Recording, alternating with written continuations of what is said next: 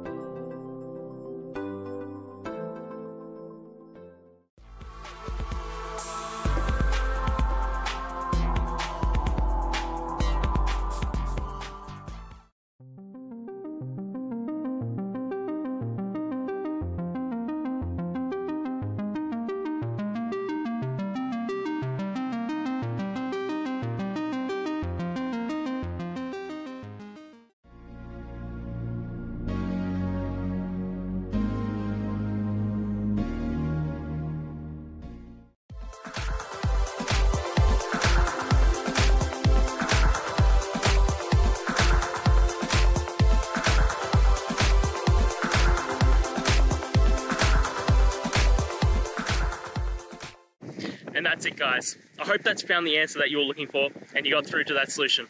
If you did, please hit the subscribe button. I'd really appreciate it. And until the next time you have a technical issue, I'll see you. Have a good one.